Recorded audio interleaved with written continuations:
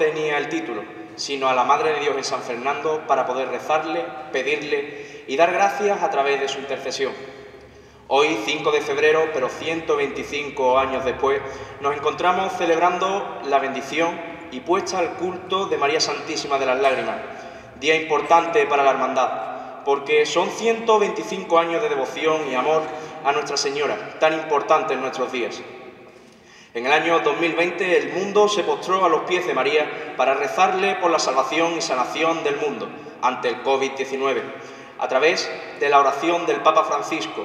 Y tan solo hace unos meses en San Fernando celebramos la Magna Mariana, teniendo a María, Reina de la Salvación, donde nuestro pueblo pudo rezar en las calles, en cada esquina una oración para llegar a Dios. Como dice en el Evangelio de San Lucas, Jesús enseñaba a la gente. Una mujer levantó la voz y le dijo, Bienaventurado el vientre que te llevó y los pechos que te criaron. Jesús escuchó aquellas palabras llenas de afecto y sin rechazarlas, invitó a todos los presentes a recorrer el camino mejor, que consiste en escuchar la palabra de Dios y cumplirla. Aquel grito, espontáneo, lleno de cariño, se convirtió en ocasión propicia para que Jesucristo declarara una nueva bienaventuranza que señalaba directamente a su madre. Sí, la Virgen María es dichosa por haber acogido en sus entrañas y haber dado luz al Verbo Eterno. De esta forma nos introduce la carta pastoral de los obispos del sur, colocando a María, estrella de la evangelización, dando a la piedad popular la mejor herramienta para poder llegar a sentir el amor de Dios y mostrándonos lo importante que es María en el mundo cofrade. Y porque la tenemos presente siempre en nuestras vidas, gracias, María. Nos ponemos en pie para recibir al celebrante.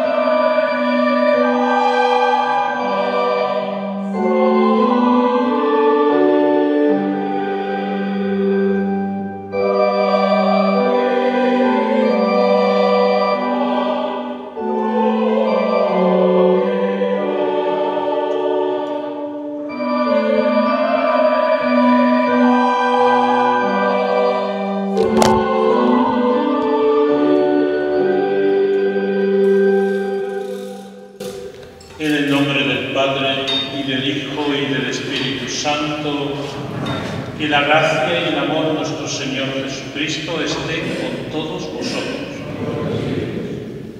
Hoy vamos a celebrar no solamente el dulce nombre de María, que es la fiesta litúrgica en la que solemos recordar a Nuestra Señora María Santísima de las Lágrimas, sino también celebramos a Santa Águeda, Virgen y Mártir, que celebra toda la Iglesia hoy. Que la vida entregada por amor al Señor nos sirva también de ejemplo a nosotros. Y comenzamos la Eucaristía pidiéndole perdón al Señor por no dar todo al Señor como Él nos lo da a nosotros.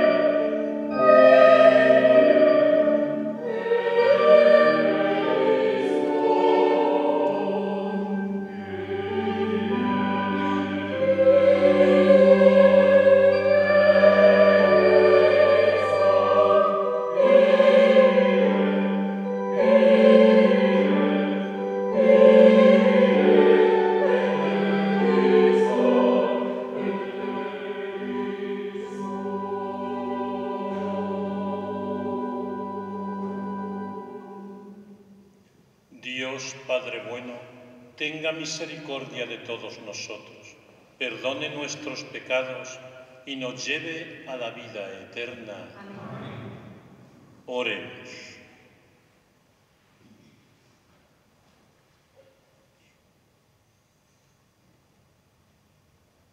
Concédenos, Padre bueno, que Santa María Virgen nos obtenga los beneficios de tu misericordia a cuantos celebramos su nombre glorioso por nuestro Señor Jesucristo, tu Hijo, que contigo vive y reina en la unidad del Espíritu Santo y es Dios por los siglos de los siglos. Amén.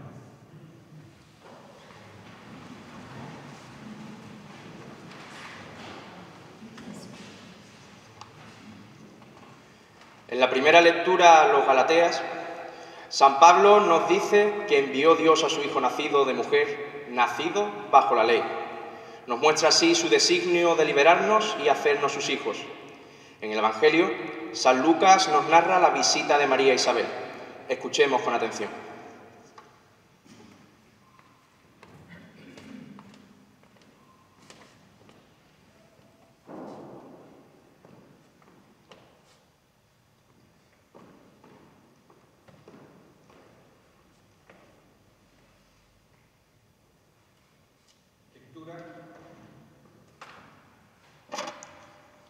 de la carta del San Pablo a los Gálatas.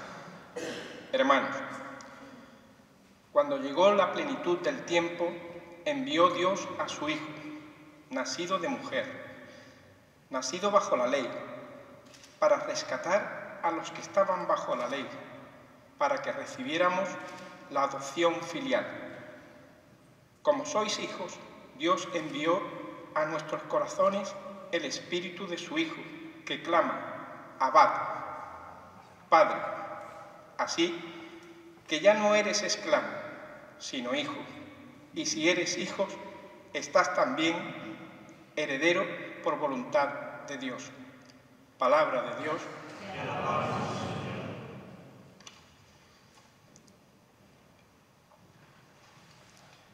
El poderoso ha hecho obras grandes en mí. Su nombre es santo.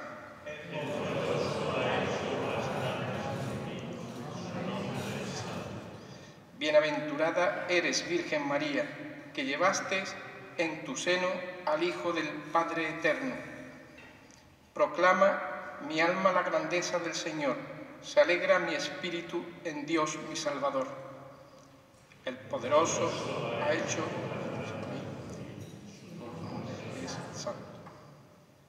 porque ha mirado la humildad de su esclava. Desde ahora me felicitarán todas las generaciones porque el poderoso ha hecho obras grandes en mí, su nombre es santo. El poderoso ha hecho obras grandes en mí, su nombre es santo. Y su, misericordia llega a sus fieles de generación en generación.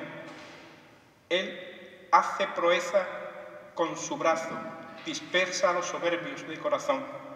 El poderoso ha hecho derriba del trono a los poderosos y enaltece a los humildes, a los hambrientos los colma de bienes y a los ricos los despide vacíos.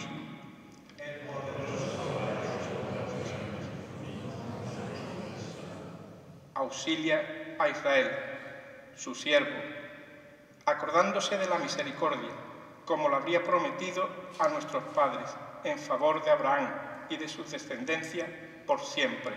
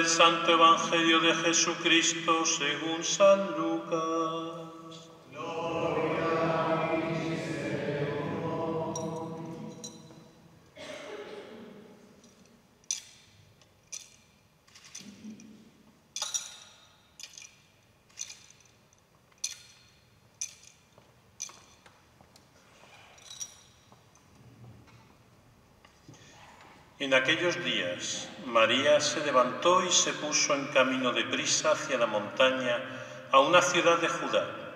Entró en casa de Zacarías y saludó a Isabel. Aconteció que en cuanto Isabel oyó el saludo de María, saltó la criatura en su vientre. Se llenó Isabel de Espíritu Santo y levantó la voz, exclamando, bendita tú entre las mujeres y bendito el fruto de tu vientre. ¿Quién soy yo para que me visite la madre de mi Señor? Pues en cuanto tu saludo llegó a mis oídos, la criatura saltó de alegría. Bienaventurada la que ha creído, porque lo que le ha dicho el Señor se cumplirá. María dijo, Proclama mi alma la grandeza del Señor, se alegra mi espíritu en Dios mi Salvador. Palabra del Señor. Gloria a ti, Señor Jesús.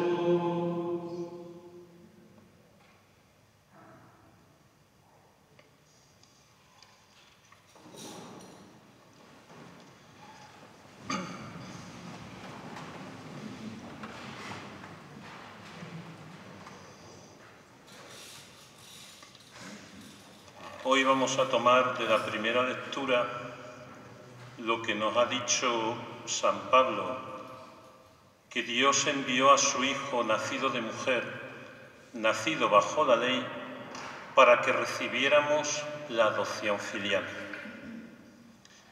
Y del Evangelio vamos a tomar las palabras de Isabel.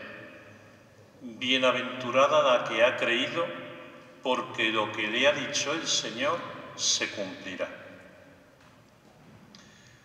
Según las palabras de, San Pablo, María es la mujer que tenía que dar a luz al Hijo de Dios. Dios necesitaba de una mujer para que su Hijo naciera entre nosotros y fuera uno de nosotros. Porque las personas humanas nacemos de una mujer, somos generados en el útero de una mujer y nacemos pasando por el trauma del parto. Y Dios quería que su Hijo fuera humano como nosotros. Por lo tanto, le hacía falta una mujer para que su Hijo naciera. María es la condición de posibilidad de la encarnación.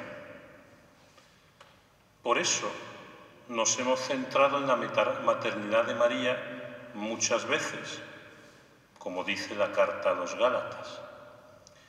Y hemos dado tantísima importancia que parece que lo absorbe todo. De hecho, un ejemplo tenemos en la introducción, la munición de entrada de la Eucaristía de hoy. Se nos ha citado el documento de nuestro obispo en el que habla de la maternidad de María. También se podía haber citado a San Juan Pablo II en la María de Cultus. Pero también en esos dos documentos se habla de lo que dice el Evangelio. El Evangelio dice, Isabel le dice a María, bendita tú por ser creyente. Lo que dice es, bienaventurada la que ha creído. Eso es, bendita tú por ser creyente. La llama bendita por eso, por haber creído las palabras del Señor. Pero que es, ha creído las palabras del Señor y ha creído que hay un Señor. A ver, que en el tiempo que estamos hoy, esto no va, por supuesto. Mucha gente dice que Dios no existe. María sí cree que Dios existe. Y María sí acepta que Gabriel es un ángel de Dios y le habla en nombre de Dios. Tenemos una creyente desde el principio de la Anunciación, desde que llega el ángel Gabriel. Y después acepta también las palabras, la misión que Dios Padre le da. Por lo tanto, si no hubiera sido creyente, no hubiera aceptado ser la madre del Hijo de Dios. Nuestro culto a María debería comenzar por ver en ella primero a la creyente que fue, a la discípula de su Hijo y después a la madre. Y no al revés. ¿Por qué digo esto? Porque En todas las culturas existe el culto a la feminidad. En todas las culturas hay el culto a la fertilidad, hay el culto a la madre. Pero nosotros no veneramos a María como una diosa de la fertilidad. Nosotros veneramos a una creyente que aceptó una misión que tenía que ver con su propia persona, transformarse de una humilde muchacha en aquella que da a luz al Hijo de Dios. Desde hace 125 años veneráis a Nuestra Señora bajo la advocación de María Santísima de las Lágrimas. Y es importante, a la luz de lo que os acabo de decir, que descubráis que las lágrimas de Nuestra Señora no son sólo y principalmente las lágrimas de una madre que ve sufrir y morir a su hijo. Solo y principalmente, insisto. Sino las lágrimas de la discípula que ve sufrir y morir a su maestro, que además es su hijo. La devoción a María nos tiene que llevar al seguimiento de nuestro Señor Jesucristo, su Hijo. Es la finalidad, el para qué del culto a María. No hacemos su culto por ella y para ella. Ella misma nos diría, pero ¿qué estáis haciendo? La que dijo a aquellos en Caná, haced lo que Él os diga, y lo puso a Él delante, ¿va a aceptar ahora que la pongamos solo a ella delante? A través de su culto llegamos a nuestro Señor Jesucristo. Eso es lo que yo entiendo que significa que Nuestra Señora procesione detrás de nuestro Señor en los cortejos de Semana Santa. Entiendo las razones que llevan a las cofradías a hacerlo así. Me vaya a permitir una pequeña crítica, pero entiendo algo menos, que las presidencias de los cortejos se sitúen delante del palio de Nuestra Señora y no de nuestro Señor Jesucristo, quien es nuestro Salvador y da razón de nuestros cortejos durante la Semana Santa. Si os sirve la crítica de algo, pues ahí la dejo. Hace ya 125 años que empezasteis la devoción a Nuestra Señora María Santísima de las Lágrimas que nuestro Señor de la Columna os haga entender que esas lágrimas no son de desesperanza ni de desconsuelo, de impotencia sí, como hablábamos ayer, ante el rechazo de la oferta de amor que hace Jesús su Hijo a la humanidad, de rechazo a aquel que quería ser para todos un hermano y mostrarnos que somos hermanos y que el camino a seguir es el del amor, el del reino del Padre. Muchas felicidades, hermanos, muchas felicidades, hermanas. Que María, nuestra Madre y primera discípula del Señor, os ayude a vivir mejor vuestra fe.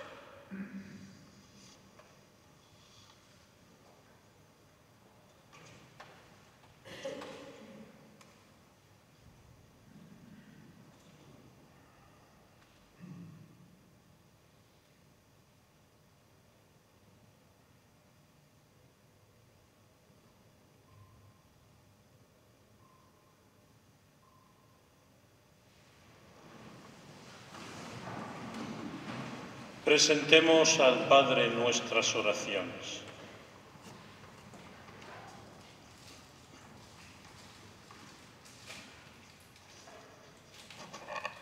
Por la Santa Iglesia, para que acogiendo con humildad y fe el don de la salvación, sea cada vez más canal de gracia y de perdón para la humanidad. Roguemos al Señor. Te rogamos, óyenos. Por todos los pueblos de la tierra, para que al compartir los bienes materiales, culturales y espirituales descubran el camino de la fraternidad que Dios quiere para nosotros. Roguemos al Señor.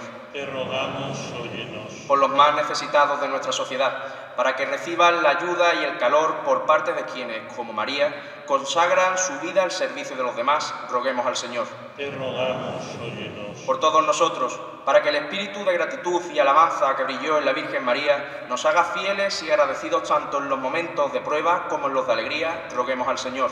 Te rogamos, óyenos. Por todos los que formamos parte de esta hermandad, para que Jesús, atado en la columna y su Santísima Madre, nos iluminen y acompañen en el camino de la fe y el amor al prójimo, roguemos al Señor. Te rogamos, óyenos. Que cada cual añada esas intenciones personales que trajo a la Eucaristía de hoy.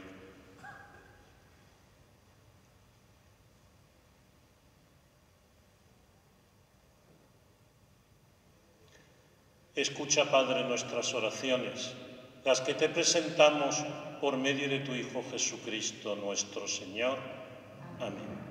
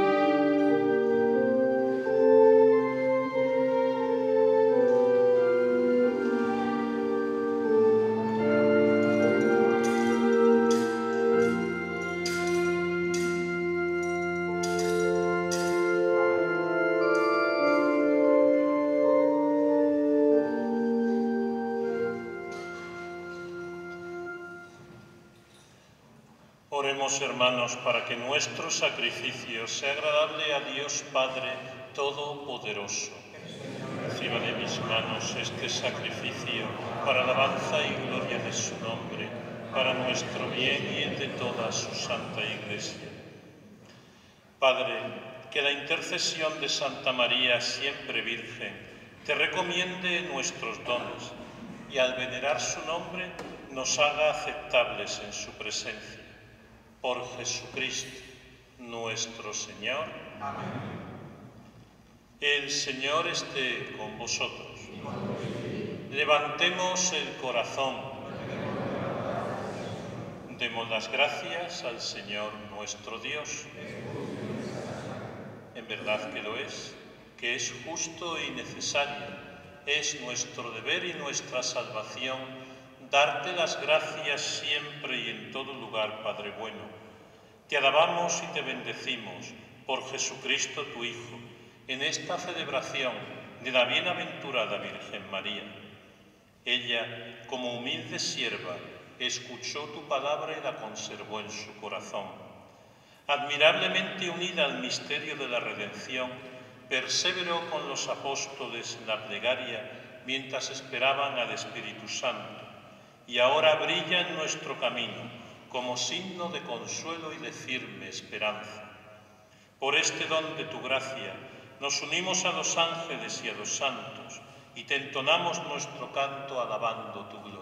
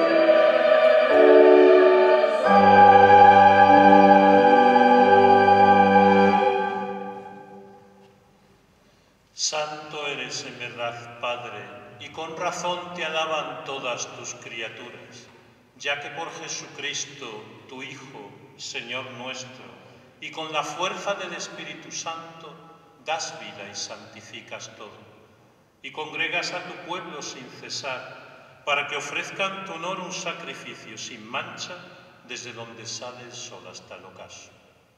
Por eso, Padre, te suplicamos que santifiques por el mismo Espíritu estos dones que hemos separado para ti de manera que se conviertan en el cuerpo y la sangre de Jesucristo, tu Hijo, que nos mandó celebrar estos misterios.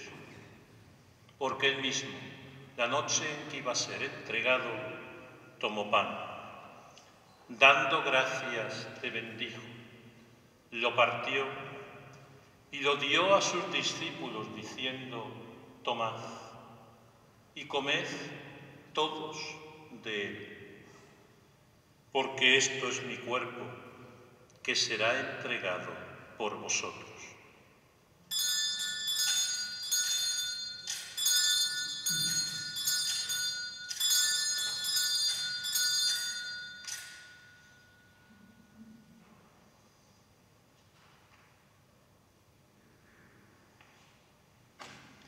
Al acabar la cena, tomó el cáliz de la bendición. Dándote las gracias, te bendijo. Y lo pasó a sus discípulos diciendo, tomad y bebed todos de él, porque este es el cáliz de mi sangre, sangre de la alianza nueva y eterna, que será derramada por vosotros y por muchos para el perdón de los pecados. Haced esto en conmemoración mía.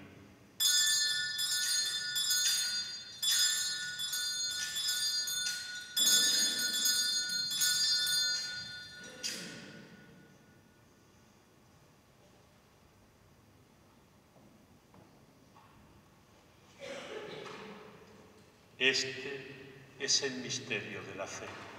Anunciamos tu muerte, proclamamos tu resurrección Ven, Señor Jesús. Padre, al celebrar ahora el memorial de la pasión salvadora de tu Hijo, de su admirable resurrección y ascensión al cielo, mientras esperamos su venida gloriosa, te ofrecemos en esta acción de gracias el sacrificio vivo y santo. Dirige tu mirada sobre la ofrenda de tu iglesia y reconoce en ella la víctima por cuya inmolación quisiste devolvernos tu amistad, para que fortalecidos con el cuerpo y la sangre de tu Hijo, y llenos de su Espíritu Santo, formemos en Cristo un solo cuerpo y un solo Espíritu. Que este Espíritu nos transforme en ofrenda permanente para que gocemos de tu heredad junto con tus elegidos con María, la Virgen Madre de Dios y Madre nuestra, San José, su esposo, los apóstoles y los mártires, y todos los santos, por cuya intercesión confiamos obtener siempre tu ayuda. Te pedimos, Padre, que esta víctima de reconciliación traiga la paz y la salvación al mundo entero. Confirma en la fe y en la caridad a tu iglesia peregrina en la tierra a tu servidor el Papa Francisco, a nuestro obispo Rafael, a todos los obispos, sacerdotes, diáconos y laicos que componen tu pueblo santo.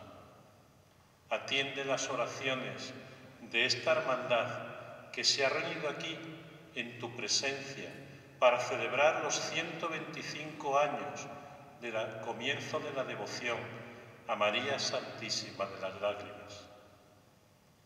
Reúne en torno a ti, Padre bueno, a todos tus hijos dispersos por el mundo, a nuestros hermanos difuntos, especialmente a los pertenecientes a nuestra hermandad, y a todos los que han muerto en tu misericordia, recíbelos en tu reino, donde esperamos gozar todos juntos de la plenitud eterna de tu gloria.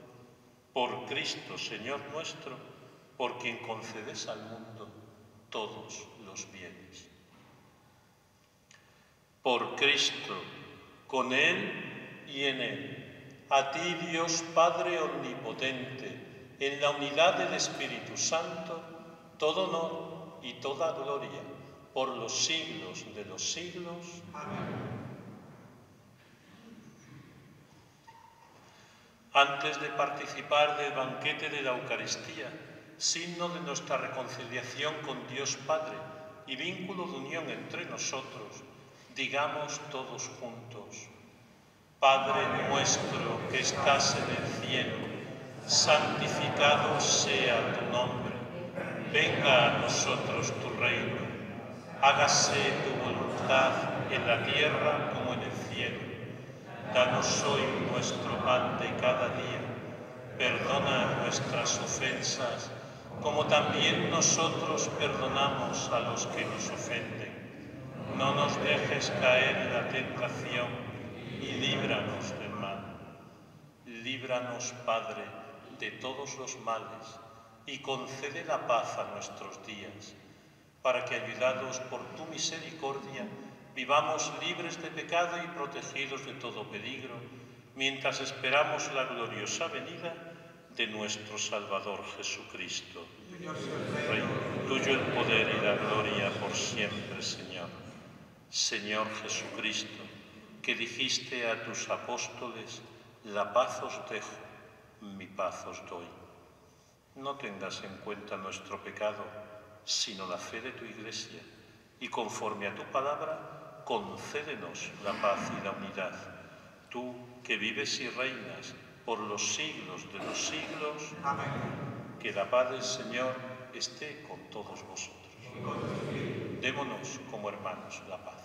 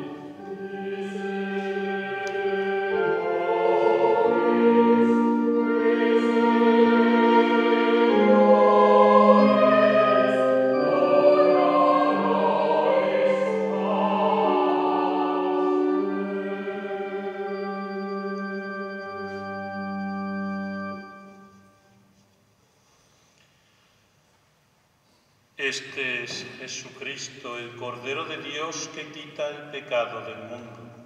Dichosos los llamados a la cena del Señor. No soy digno de que entres en mi casa, pero una palabra tuya bastará para sanar. Que el cuerpo de Cristo haga crecer en nosotros la vida eterna. Amén.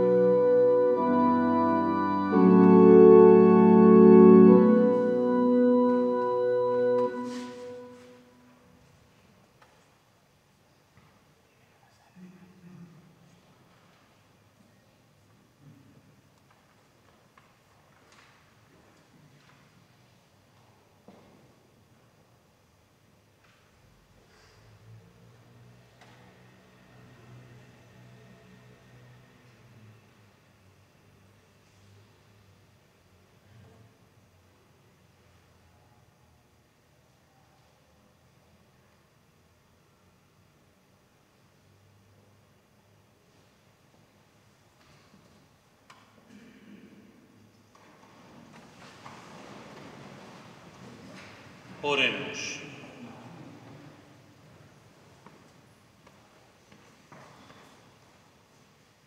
Padre, por intercesión de Santa María, Madre de Dios, que consigamos la gracia de tu bendición para que al celebrar su nombre glorioso experimentemos su ayuda en todas las necesidades. Por Jesucristo, nuestro Señor. Amén. Hermanos, que esta Eucaristía marque el devenir de nuestras vidas, aumentando nuestra fe en este Jesús sufriente, recordando que la fe se tiene que acompañar con obras de caridad y que María Santísima de las Lágrimas nos ayude a poder seguir a Cristo en su caminar. Antes de finalizar esta función, queremos agradecer al reverendo don Raúl Luis Valverde Cesteros su disposición para acompañarnos durante estos tres últimos días de y su maestría en la predicación de la palabra de Dios. Agradecemos también su presencia en el día de hoy al representante del excelentísimo Ayuntamiento de San Fernando, al representante del Consejo Local de Hermandades y Cofradías, hermanos mayores y representantes de las hermandades de nuestra ciudad, al coro Esemble de Tedeo, a los medios de comunicación y a todos nuestros hermanos fieles y devotos que nos han acompañado durante estos días. A continuación, vamos a proceder a la bendición de una pieza de encaje y dos juegos de puño para María Santísima de las Lágrimas, donadas por un hermano, cuyas características hacen crecer notablemente el patrimonio de la hermandad, al tratarse de un encaje procedente de Francia, estilo valenciense del año 1900, con una medida de 6 metros de largo y 16 centímetros de ancho. Desde nuestra Junta de Gobierno queremos agradecer dicha donación, que engrandecerá el ajuar de Nuestra Señora María Santísima de las Lágrimas y con total seguridad enmarcará la belleza de nuestra titular. Solicito la presencia del hermano mayor.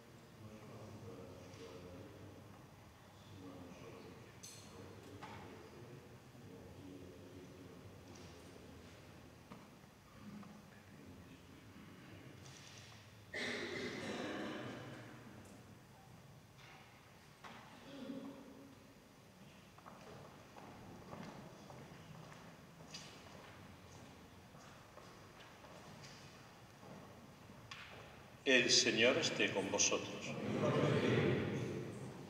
Que Dios Padre esté con vosotros en el caminar de vuestra vida. Que Dios Hijo os ayude a seguirle, os ayude a ser dignos del reino. Que Dios Espíritu Santo mueva vuestros corazones y os ayude en el camino de la vida a descubrir siempre la presencia de Dios. Y yo os bendigo en el nombre del Padre y del Hijo y del Espíritu Santo. Amén. Hermanos, hermanas, podemos ir en paz.